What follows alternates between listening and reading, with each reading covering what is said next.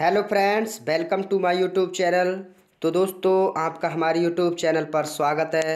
तो मैं आपके लिए दोस्तों, आपके केमिस्ट्री का क्वेश्चन पेपर लेके आ चुका हूँ आपके एग्ज़ाम के लिए।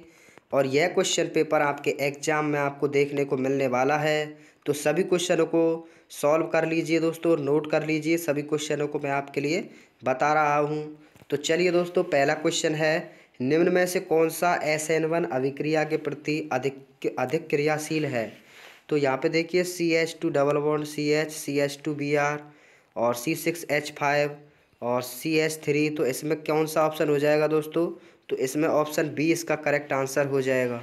क्योंकि दोस्तों, इसमें बेंजीन समूह जुड़ा हुआ है और बेंजीन समूह बेंजीन समूह जिसमें भी जुड़ा होता है दोस्तों, वे अधिक क्रियाशील अधिक क्रियाशील होते हैं तो ऑप्शन बी इसका राइट आंसर हो जाएगा क्योंकि अनुनाद अनुनाद बनाएगा। नेक्स्ट है, यहाँ पे देखिए के के का मान दे रखा है दोस्तों। मोल इनवर्स सेकंड इनवर्स तो यहाँ पे अभिक्रिया कोटि की पहचान है। तो इस अभिक्रिया की पहचान क्या है दोस्तों? ये प्रथम कोटि की है या द्वितीय कोटि की है या शून्य कोटि की है? तो कमेंट बॉक्स में बताइए दोस्तों, इसमें क्या आंसर होना चाहिए इसका? नेक्स्ट है, यहाँ पे देखिए निम्न दोष में से कौन सा ठोसों के घनत्व में कमी दर्शाई जाती है? किस दोष में ठोसों के घनत्व की कमी दर्शाई जाती है?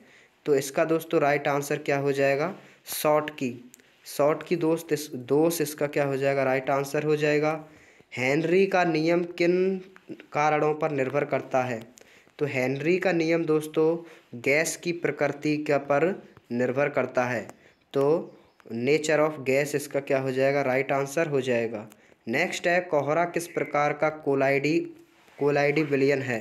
तो कोहरा किस प्रकार का कोलाइडी विलियन है दोस्तों? ये एरोसॉल एरोसॉल कोलाइडी विलियन है। तो एरोसॉल इसका क्या हो जाएगा? राइट आंसर हो जाएगा।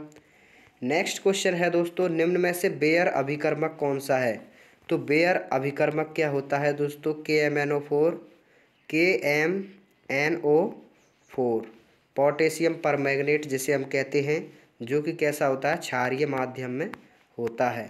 तो क्षारीय पोटेशियम परमैग्नेट ऑप्शन डी इसका क्या हो जाएगा? राइट आंसर हो जाएगा। नेक्स्ट क्वेश्चन देखिए। नेक्स्ट है यहाँ पे दोस्तों, कौन सा लेड संचायक सेल का सही नहीं है? सेल के लिए कौन सा सही नहीं है? तो यहाँ पे दोस्तों, इसका राइट आंसर हो जाएगा प्राथमिक सेल। प्राथमिक सेल नहीं है दोस्तों ये। इसके बाद नेक्स्ट क्वेश्चन है क्रोलाइट क्रायोलाइट निम्न में से किसके निष्कर्षण हेतु प्रयुक्त किया जाता है? तो क्रायोलाइट एल्यूमिनियम के निष्कर्षण के लिए प्रयुक्त किया जाता है। नेक्स्ट क्वेश्चन है आपका दोस्तों एल्डिहाइड व कीटोन द्वारा प्रदर्शित कई, की जाने वाली अभिक्रिया कौन सी है? तो एल्डिहाइड व कीटोन कौन सी अभिक्रिया करते हैं दोस्तों? ये करते हैं नाविक स्नेही योगात्मक अभिक्रिया। नाविक स्नेही, योगात्मक अभिक्रिया, न्यूक्लियोफिलिक एडिशन रिएक्शन इसका क्या हो जाएगा? राइट आंसर हो जाएगा। आर ए समीकरण क्या है? तो आर ए समीकरण में क्या होता है? के बराबर ए इंटू ई की power minus E A upon E A upon क्या हो जाएगा? आर टी हो जाएगा। E A upon R T तो क्या हो जाएगा? ऑप्शन यहाँ पे ऑप्शन हो जाएगा इसका बी ऑप्शन इसका क्या हो जाएगा? करेक्ट आंसर हो जाएगा। बी ऑप्शन क्या हो जाएगा? एकदम करेक्ट आंसर हो जाएगा। इसके बाद एस एन वन व एस एन टू अभिक्रिया में आपको तीन अंतर बताने हैं। लेंथ साइड का आकुचन क्या है? इसमें आपको संक्षेप में समझाना है। इसके बाद दोस्तों निम्न के उपसय संयोजक यौगिक भी आपको बताने हैं जैसे tetra tetraammine di aqua cobalt और क्लोराइड। इसके बाद तीसरा भी है डा, di chloro bis ethane one two diamine platinum और नाइट्रेट, फोर्थ नाइट्रेट। तो ये आपको, ये तीसरा चौथा है नाइट्रेट। इसके बाद देखिए, नेक्स्ट है यहाँ पे निम्न यौगिकों में विभेद करने के लिए रासायनिक परीक्षणों को दीजिए प्रोपेनॉल एवं प्रोपेलॉन। प्रोपेलॉन है ये। फिनॉल एवं बेंजोइक एसिड। नेक्स्ट है क्षारकीय प्रावल्य घटते क्रम में। इसमें क्या है देखिए, क्रम को लिखिए। तो क्षारकीय प्रावल्य को घटते क्रम में लिखना है। और इसके बाद देखिए नेक्स्ट क्वेश्चन है, ये जो दे रखे हैं इनको घटते हुए क्रम में लिखना है। सबसे पहले कौन सा आएगा इसके बाद?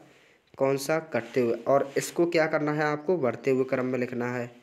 नीचे है दोस्तों ग्लाइकोसाइडिक बंद क्या होता है? ग्लाइकोसिडिक बंद जो होता है, वो क्या होता है? पेप्टाइट बंद क्या होता है? और अधिशोषण की वो परिभाषित कीजिए। वह उसके प्रकार लिखी है। ब्यूना एस क्या है? डेक्रोन क्या है? नाइलॉन छेच क्या है? तो ये सभी बहुलक हैं। इनकी आपको अभिक्रिया अभिक्रिया बतानी है। नेक्स्ट है देखिए, टिप्पणी लिखनी है। कार्बिल एमिन अभिक्रिया हॉपमान ब्रोमेमाइन, ब्रोमेमाइड अभिक्रिया और कैनिजारो अभिक्रिया। जितनी भी रिएक्शंस नेम रिएक्शंस हैं, उनको ज़रूर पढ़कर जाएँ, क्योंकि नेम रिएक्शन बहुत ही इम्पोर्टेंट होती हैं। और यहाँ पे देखिए सी एल एफ़ थ्री उपस्थित है, जबकि एफ़ सी एल थ्री नहीं है। कारण बताना है, संक्रमण तत्व रंगीन क्यों होते हैं? फ्लोरीन केवल एक ऑक्सीजन अवस्था में प्रदर्शित करता है, जबकि अन्य halogen plus three plus one और प्लस फाइव प्लस सेवन की अवस्थाएँ भी प्रदर्शित करते हैं। क्यों? इसके बाद नेक्स्ट है दोस्तों वानटाफ गुणांक का सूत्र लिखिए।